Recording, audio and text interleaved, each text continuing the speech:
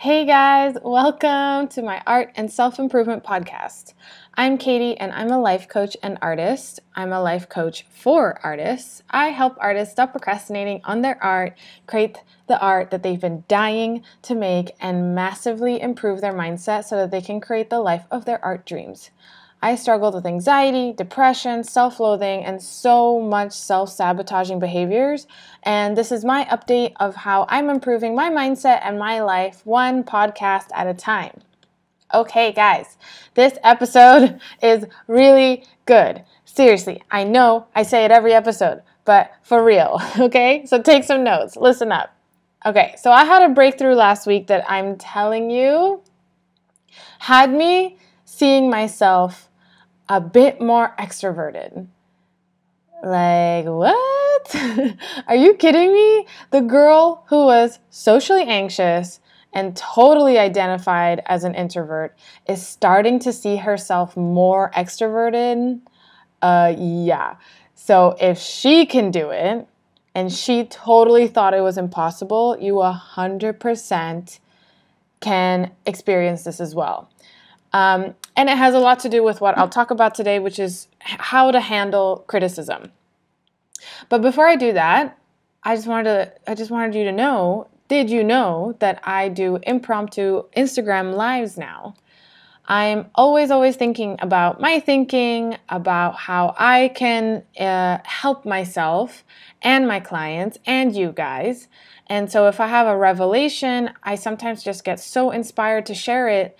And I, sometimes I don't really want to wait to make something polished like a YouTube podcast like this. Sometimes I just want to make something really messy, but it's still super valuable. So I'll just randomly go on Instagram and share wisdoms in real time. They're super short and sweet, like under 10 minutes, so you can watch them really fast. I save them in my Instagram TV, IGTV. So make sure you're following me on Instagram as well and check out my IGTV, okay? Okay, let's get into today's topic. Let's talk about criticism some more. Yay! I love, love being told what I'm doing wrong. so, we talked about it last week, but I felt like something was slightly missing from the message. Um, because okay i think it's really really important right that I'm, I'm not saying at all that we shouldn't look for ways to improve that we should avoid all criticism and be in total denial land as artists, if we have a goal of improving our art, then feedback and constructive criticism from ourselves or others is probably really useful for that goal, right? But, you know, not every artist has that goal. Okay, so let's just make that clear, right? I'm saying, like, if you have a goal to improve your art. So, criticism can be a really, really positive force that like pushes us to grow and improve and expand our work, ourselves. But then why is it super debilitating and totally demotivating for some of us? So when when is criticism useful and then when is it hurtful? Does it depend on the type of criticism? Like, do we need to avoid criticism about our use of colors versus our anatomy? Or does it depend on who's giving the criticism? So maybe we shouldn't avoid criticism from that annoying friend, but totally accept it from the, our professors. Or should we avoid it from the really annoying professor, but accept it from the people that love us? Like, what is it? It's none of that. Whether criticism is useful or hurtful totally depends on how we see ourselves not the criticism or the people right? Not not it does not depend on what type of criticism or who gives it to us or what other people think of us. None of it. I know i know but i promise that this is really really great news especially if you've heard me enough times right? This is actually really great news. If somewhere in you you believe you aren't good enough that you're unworthy. And then when somebody points out that you did something incorrectly, that you did something that maybe isn't the best way to do something, you're going to use that as evidence that you're unworthy and then totally crumble. You're also looking at yourself and your own work through the like not good enough lens. And that's, again, very demotivating. And so it makes it really hard to keep up the momentum of improvement, right? It's like, it's very, it's like this yo yo of, of, of creativity. However, if you see yourself as completely worthy, then someone's criticism won't mean anything about your worth, and you'll just take it as feedback to improve in the future or decide that it's not your focus right now, or you'll just disagree, right? From a genuine place. Like, oh, I, I see what you're saying, but I'm gonna have to disagree. And then that's it. No, no drama at all. Okay, but first let's let's talk about why why is worthiness so important to us anyway? It's just our prehistoric mind trying to make sure that we don't get kicked out of the tribe, right? Like social death.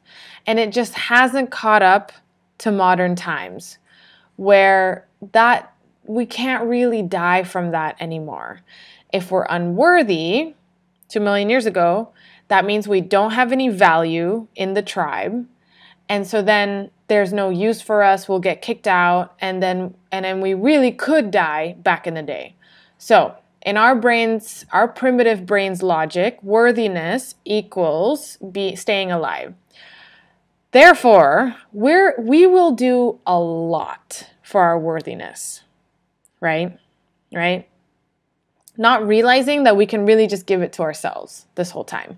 We keep thinking that that comes outside of us, either in our achievements, in the things we own, um, in, in the way we're acting, right? That's, that's where we think our worthiness comes from.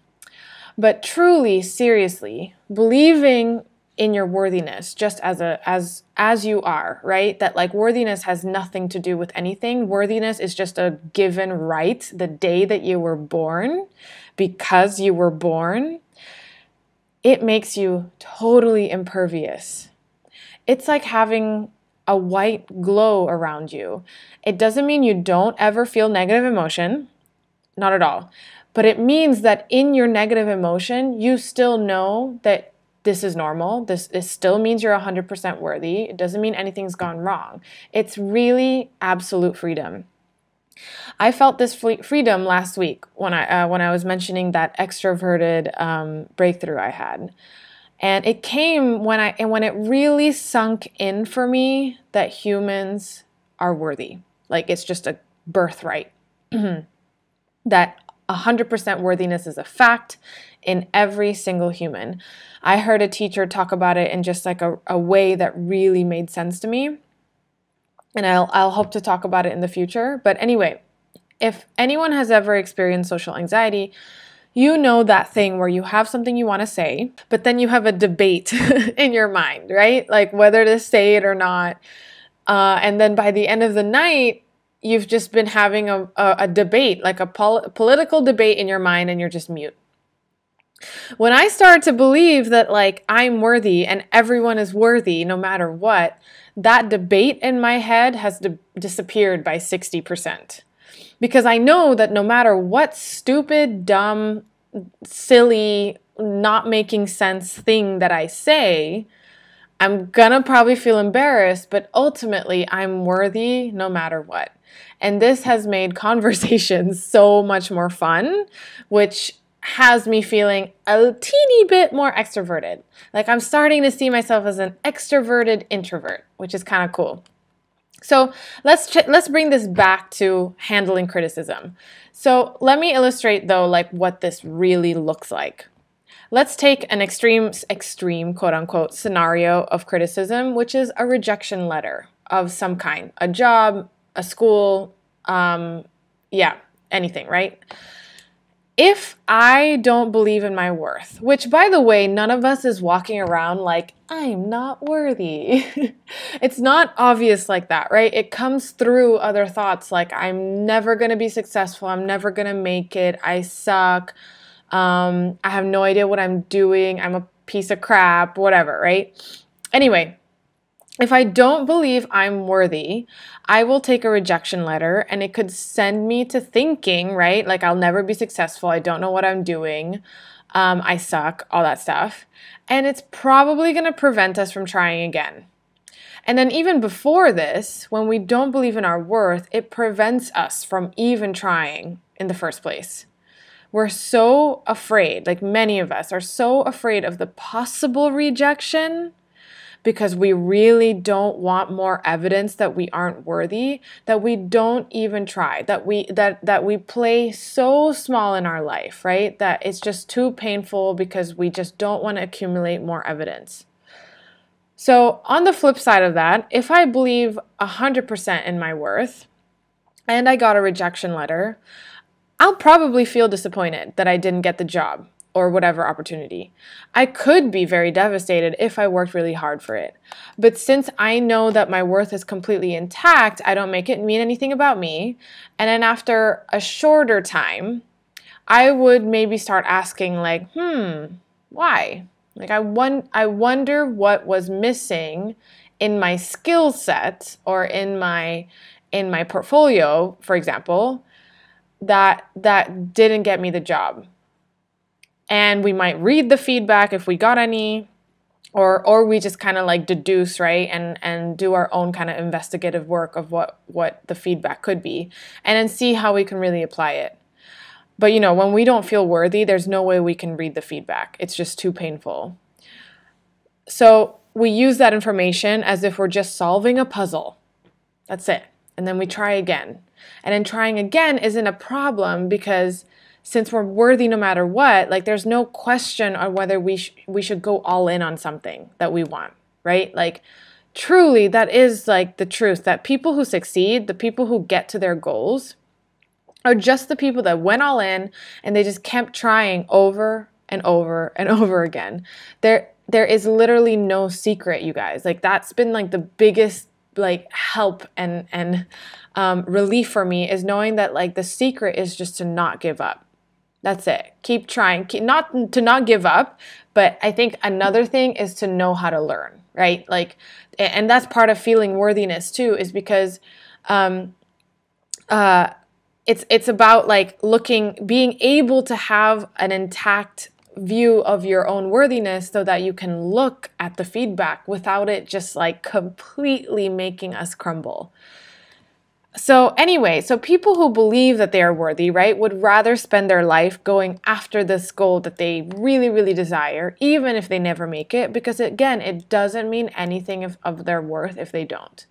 It just makes no sen- not, sense not to try, since, yeah, the same thing, since their worth is completely intact. If they don't get the job that they wanted, so then they get the job that they didn't want but it's just a means to still keep going after the job they want, right? It's just like it's like they just do whatever it, it takes, even if it's not the like thing exactly that they want in order to get to the goal that they want. So, anyway, it's not about thinking that you're amazing and that you can do no wrong. Worthiness means that you love yourself in all your imperfections. Like, you can totally see where you're not amazing, and then you're still like, that's okay. I'm working on it and that you know there's something very flawed but like we are still worthy it's still okay. So it can look something like this or here it sounds like something like this. I'm an awesome person but sometimes i do stupid things and that's okay i'll learn from it. Or um, you know going back to the rejection letter my skill level is not at the bar this company expects and that's okay. It doesn't mean I'll never get better or anything about my future. Whereas for me, I whenever when I when I had rejections like that, I would think like, no, it's not my skill level, it's like me, right? Like there's something wrong with me in at my core.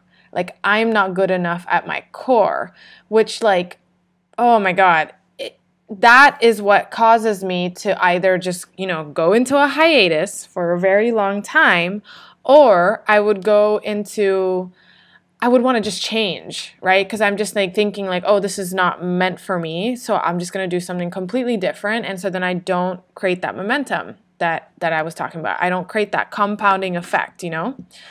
Um sorry, my cat is being is is really distracting me right now.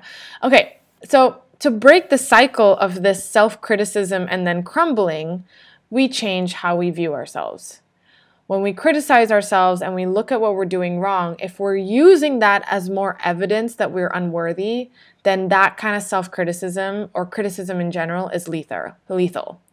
But if we fully believe we're worthy and then and then all we're doing is using it as completely neutral information, it would it that's like that's like the best thing, right? It's almost like it's almost like it's almost like criticism could be the best thing in that scenario. So yeah, again, not advocating that we never take it and that we we don't ever look at where we we can improve and we only live in rainbow and daisy land. No, I'm advocating that we work on our self-image so that then we can take criticism from a really powerful place. I think this is why self-image, self-love, as cheesy as that sound, but like like self-worth, all of that kind of stuff, that kind of work, that kind of mindset work really changes everything. It's what makes something that can seem extremely lethal like criticism and turn it into like the best thing that you can you can have in your life, right? Which is like how you improve. It literally affects everything in our life. So, TLDR, the best way I think to handle criticism is to improve our self image because then the responsibility is all on us. We're not waiting for other people to change or be nicer or to say their criticism in just the right way so it doesn't hurt our feelings. No, it's like it's like we work on our self-image so that we can then like look at what information we need and then the other amazing side effect to that too is that we just get higher confidence levels. We just like ourselves more, you know? Like that's that's it. Um, so yes, Awareness is the first step to solving any problem. So, if you feel that pang of pain when you're criticized or when you're looking at something that you're not doing right, take a second to really feel it and then find the thought that's creating that feeling, that's creating the painful feeling. And then just, and then first notice, like find it. Notice that it's a thought, that it's not a fact, it's a sentence in your brain that's creating this feeling. And then and then from there like find find where you're feeling like your worthiness is not whole, right? Like what what thoughts are are where are you seeing that your worthiness is not completely 100%?